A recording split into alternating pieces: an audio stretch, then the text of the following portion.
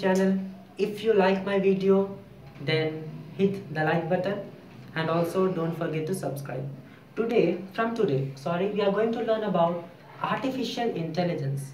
Basically, what is artificial intelligence? I will give you an example of Siri. Do you know Siri in iPhone? Yeah, or a Google Assistant. But in contrast, what is artificial intelligence? Artificial intelligence is an intelligence which is made by humans. For example, if you take human being, our brain is so much developed that what it consists of, what our brain consists of? Neurons. So to know artificial intelligence, because it is a very vast subject, to reach that step, we are going to learn about neural networks, which is a step to artificial intelligence. But the question comes, why neural networks?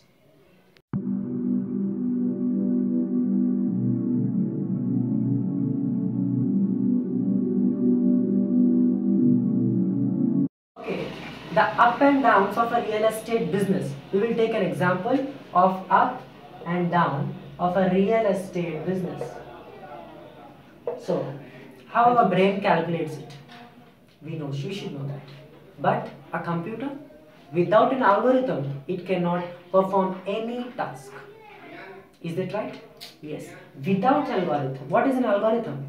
A sequence of instruction what we give to a computer. So without an algorithm, if it, if it doesn't design an algorithm, so it cannot perform any task. So in contrast, in neural networks, deeply, we are going to learn about the step-by-step -step procedure to reach artificial intelligence. First, we are going to learn what is a human brain. We are going to learn the structure of a human brain. Okay?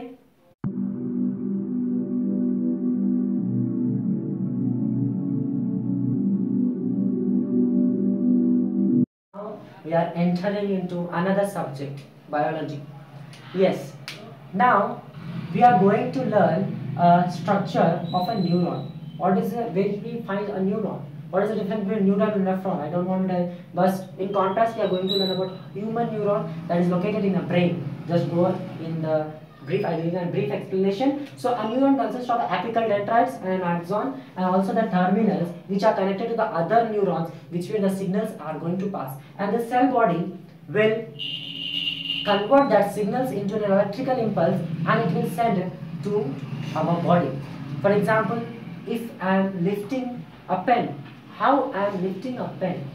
So that our brain will give an electrical impulse or electrical signal to the particular pen, sorry, particular hand and we are going to write it on the board. Okay, so basically how an artificial neuron is made of. Our neuron is made up of what? Is it made of?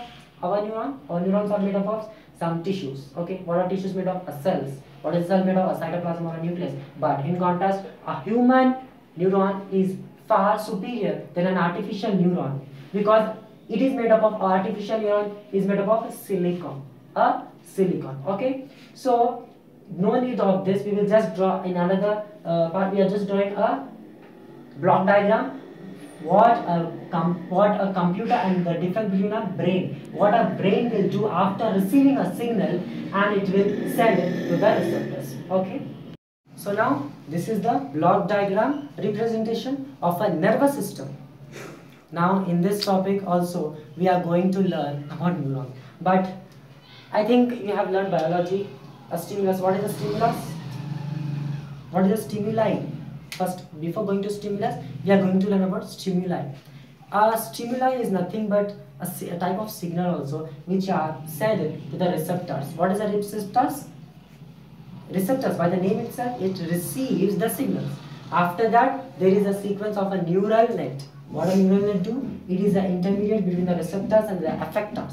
Receptors means which will receive the signals and the effectors which will the neural net which convert that signals into effectors and the effectors will perform a response.